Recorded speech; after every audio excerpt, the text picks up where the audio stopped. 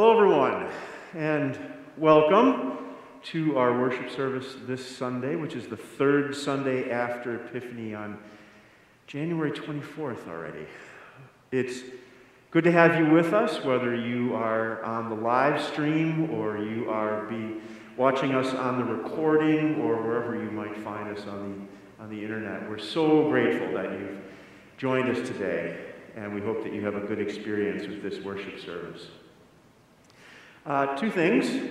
The first is uh, the annual meeting for Trinity is February 14th. That's a Sunday at 10 o'clock, so immediately after this worship service. And uh, those of you who are congregation members will receive a lot of information in the next couple of days and, and into this week and next week. Um, we encourage you to review that information ahead of time because we're hoping to have as much of the business taken care of as we can ahead of time since we're doing this on Zoom uh, in a video format. The other is because of the mitigations in Illinois, we are, uh, that they have changed in our region. We will be uh, opening the building slowly to small groups starting February 1st. Uh, and then we'll uh, start to receive people, a small amount, uh, of people beginning on February 17th, which is Ash Wednesday. So that's that evening service, and then the Sundays following that. Of course, this is all contingent on how things go with uh, mitigations in our region and, of course, infection rates and such. Uh, but at least for now, we're planning that slow opening for the middle of February.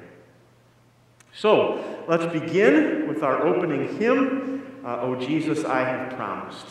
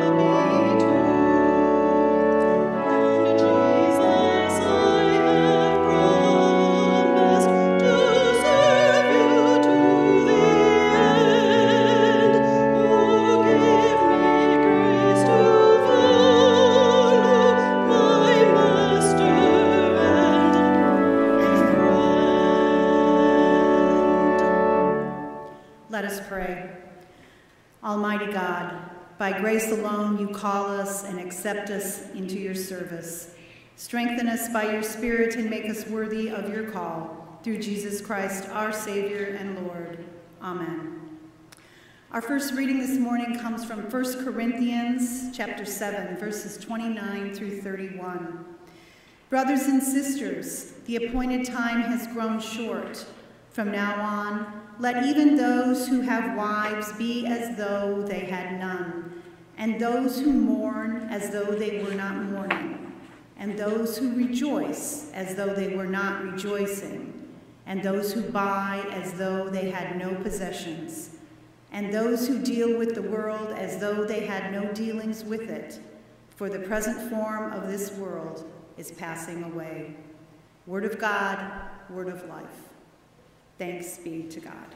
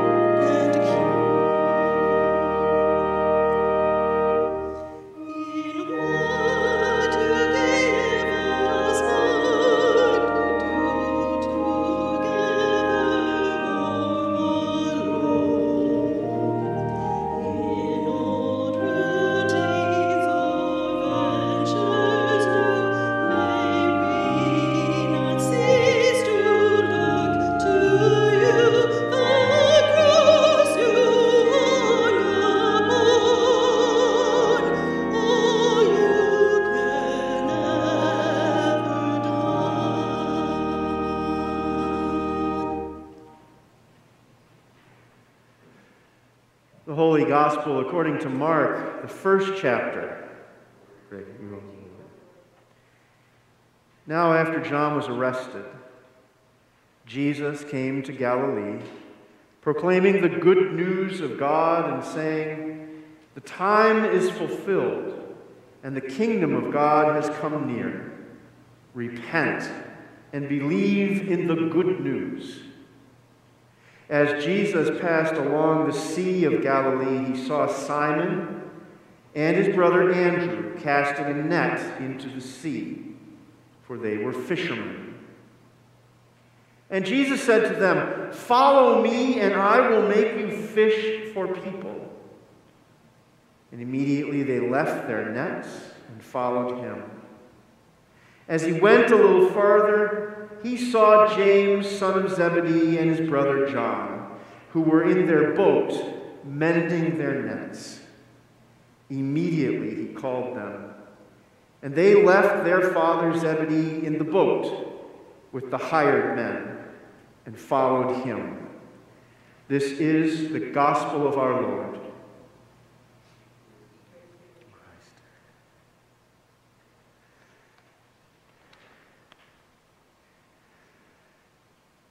This is the time of year when usually at least one news story breaks about how someone went off the road in somewhere in North Dakota or some other very cold place in Canada.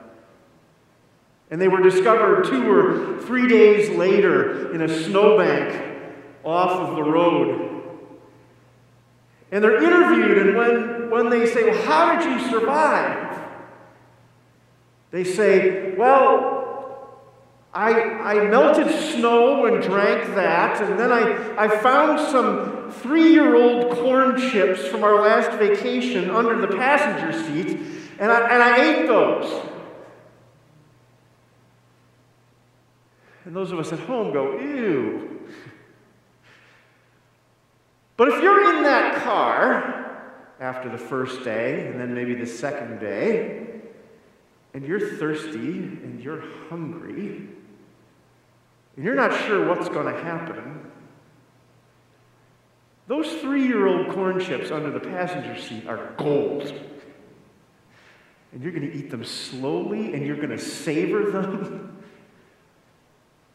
And under normal circumstances, that would not be something you would choose if you were thirsty. You wouldn't wander out of your house and scoop up some snow and eat it. You'd simply go to the tap and turn it on. Three year old corn chips you'd just throw away. The difference is not necessarily just life and death, the difference is a sense of urgency. A sense that, well, I better make the best decisions now, not worry so much about the future. We found out through this election cycle also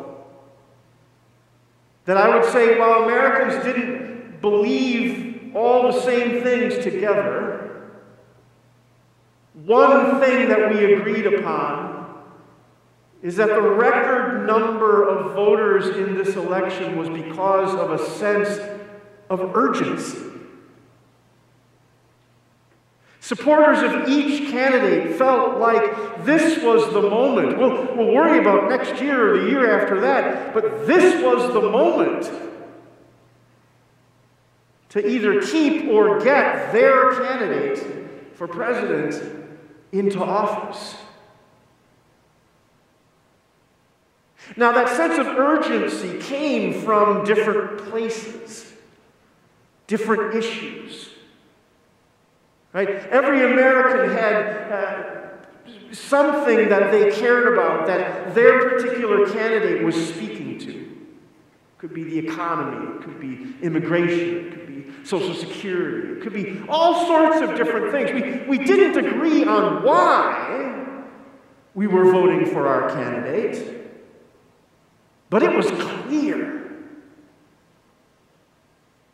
Not just up to the election, but in the week or so after that it took to sort things out, a sense of urgency on behalf of the country lie at the heart of many of these decisions. Now was the time. We don't know exactly, we never probably will. We don't know what prompted Simon Peter, Andrew, James, and John to, as the gospel says, immediately leave their nets, leave their boats, and follow this Jesus. But there was something about Jesus that gave these four men a sense of urgency. A sense that not next week, not next month, not next year, but now was the time to follow Jesus. They probably didn't even know a whole lot about it.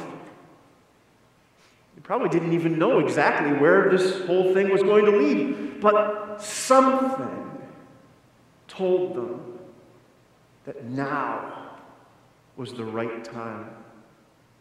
And it wasn't just these four. We know that there were other disciples after them. We know that there were people who followed Jesus, right? The feeding of the 5,000 story that we, that we know so well. Others, too, felt like there's something about this guy.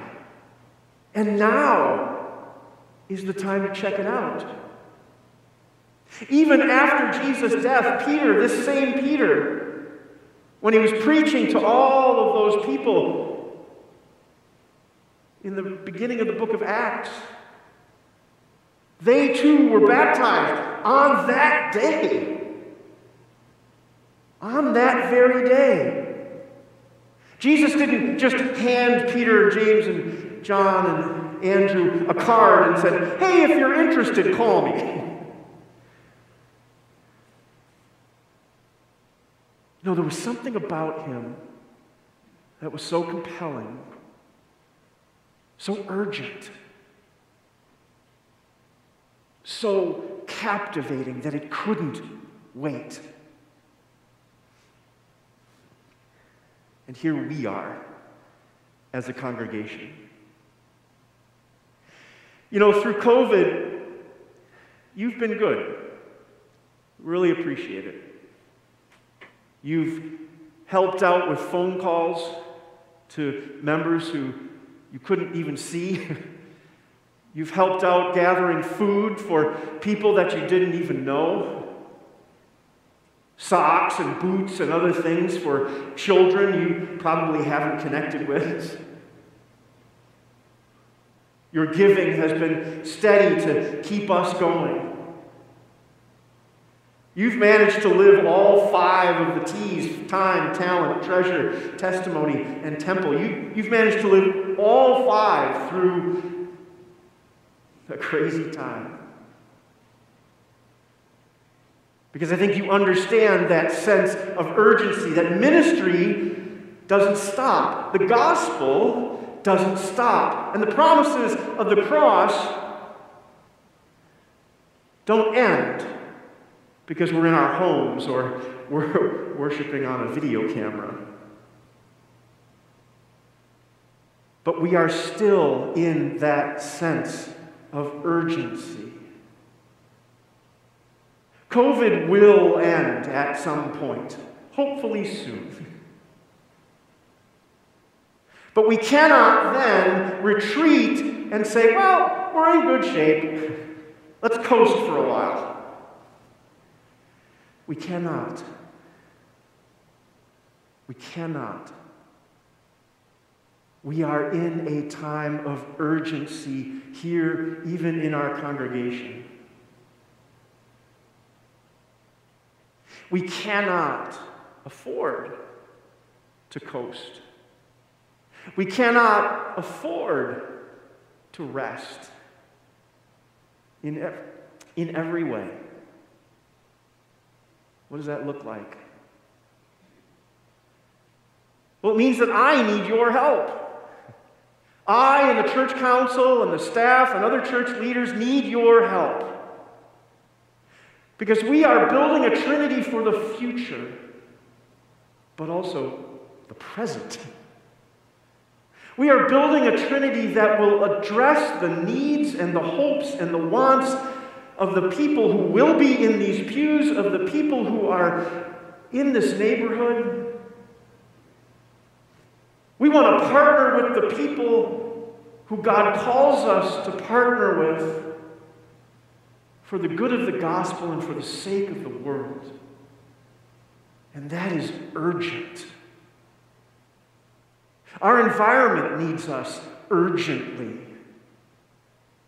The hungry people in the world, the 12 million children in this country who will go to bed hungry, need us urgently.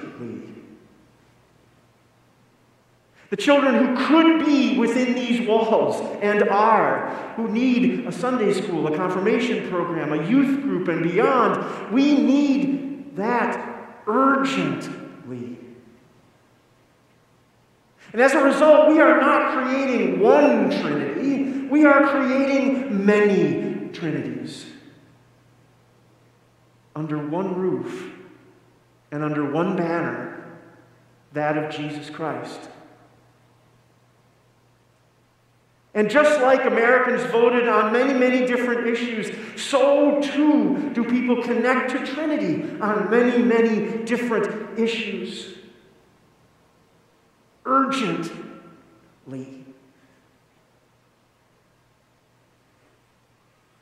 You know, if you read the books about churches and growth and all that kind of stuff, they'll tell you, oh, be patient, take your time. Five, seven, ten years.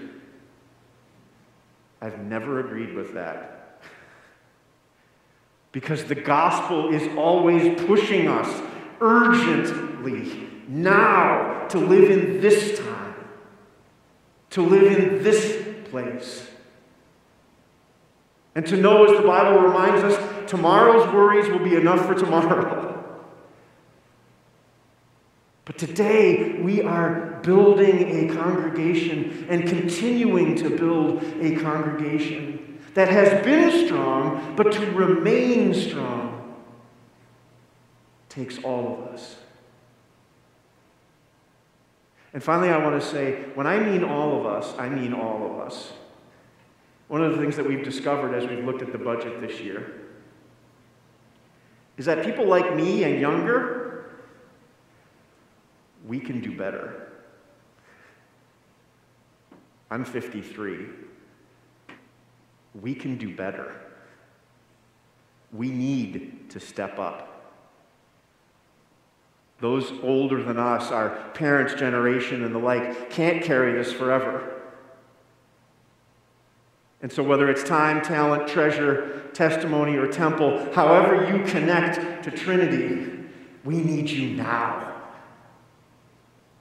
There is a sense of urgency. Because Jesus came into this world and went to the cross and was raised from the dead. Not because God wanted to deal with the world in a century or two or more because God wanted to deal with the world now. And it's the same truth in Jesus' time as it is today. God is breaking into our world, pushing us, and saying, folks, now is the time. And so I invite you to contact me or the staff, Pastor Peter, at tlcmoline.org with your ideas, with your thoughts, and with how you're going to vote for Trinity today.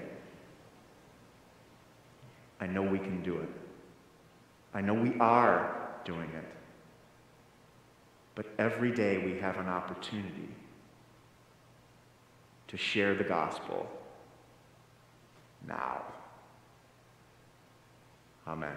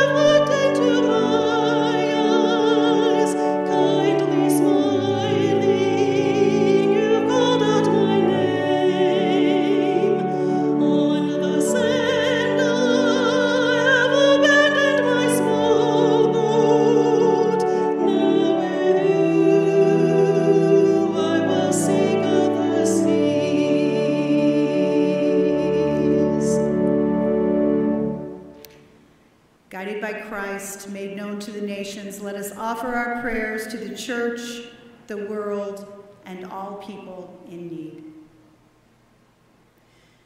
For the church throughout the world, for pastors and teachers, for deacons, for musicians, and all those who serve, that all proclaim the good news of God's reconciling love. Let us pray. Have mercy, O God.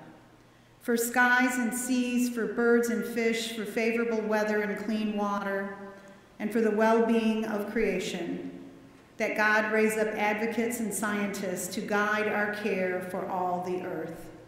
Let us pray. Have mercy, O God. For those who govern and lead this nation and nations around the world, may those who hold power understand that it is a trust from you, Lord, to be used not for personal glory or profit, but for the service of people. Grant in your mercy just and honest government, and give us grace to live together in unity and peace. Let us pray. Have mercy, O God. For the world pandemic, let us work together to continue learning encouraging increasing vaccine recipients, wearing of masks, distancing physically, washing our hands, praying, making use of safe virtual worship practices, and practicing patience and living forward toward a new normal. Let us pray. Have mercy, O God.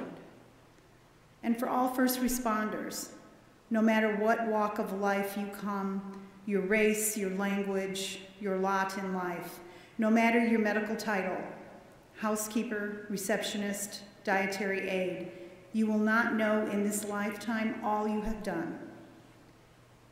May we never forget the work you do and the love you bring through human feelings, both grief and joy. You do what we alone could never do. And God, we give thanks for all these people that have graciously and selflessly shared their gifts. Let us pray. Have mercy, O God. And we pray for all who are in need of healing and for those who grieve this day, that in the midst of suffering, God's peace and mercy will surround them. Let us pray. Have mercy, O God and in thanksgiving for our ancestors in the faith whose lives serve as an example of gospel living, that they point us to salvation through Jesus Christ our Lord. Let us pray. Have mercy, O God. Merciful God, hear the prayers of your people, spoken or silent, for the sake of the one who dwells among us, your Son, Jesus Christ, our Savior and Lord. Amen.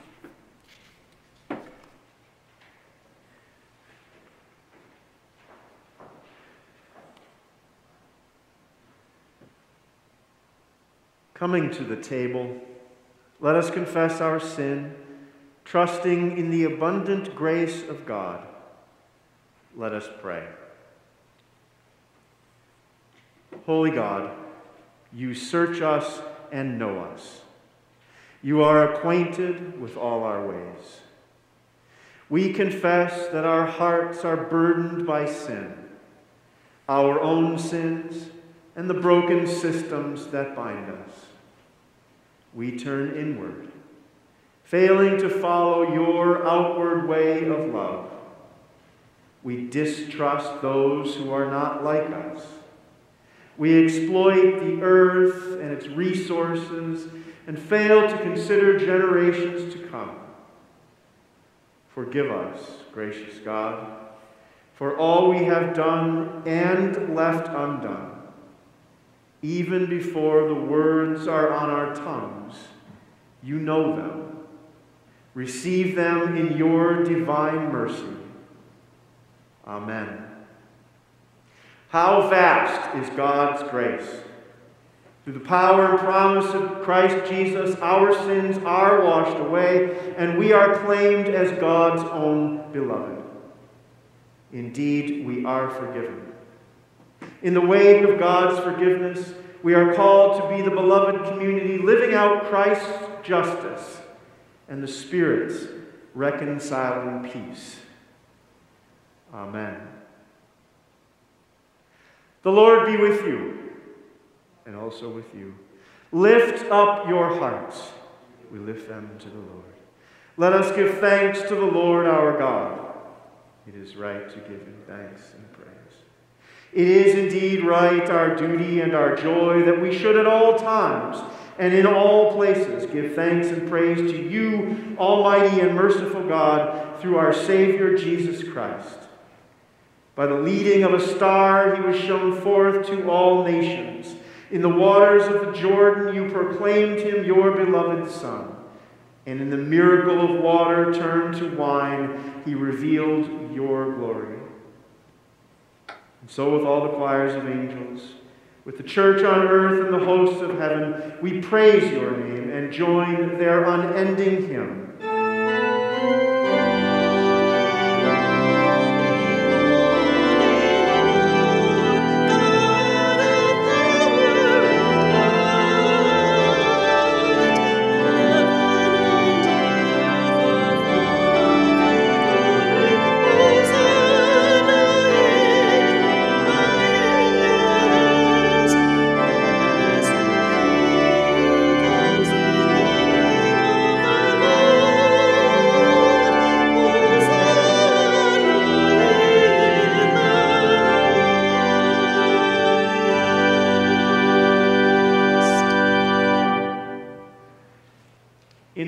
Which he was betrayed, our Lord Jesus gave thanks, bread, broke it, gave it to his disciples, saying, Take and eat. This is my body given for you. Do this for the remembrance of me.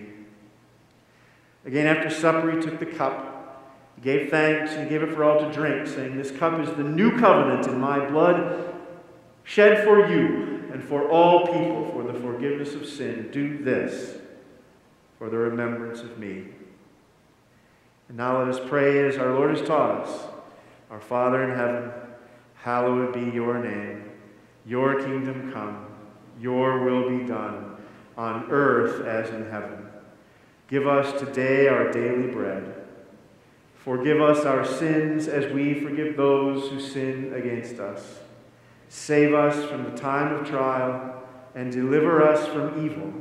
For the kingdom, the power and the glory are yours, now and forever. Amen.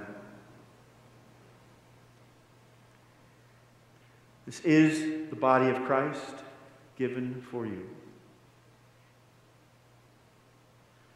This is the blood of Christ shed for you.